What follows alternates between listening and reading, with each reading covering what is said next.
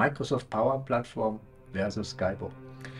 Das ist für uns natürlich eine interessante Frage, weil da auch natürlich auch die gravierendsten Unterschiede sind. Auf der einen Seite haben wir Microsoft, weltbekannte Firma, und auf der anderen Seite haben wir dieses kleine Schweizer IT-Unternehmen.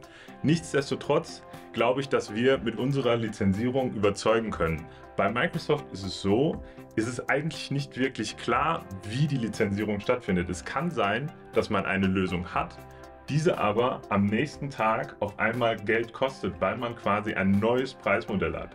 Bei Skybo ist alles straightforward. Das bedeutet, ich habe eine Lizenzierung und mit dieser Lizenzierung kann ich alle Features nutzen und auch unbegrenzt Lösungen bauen.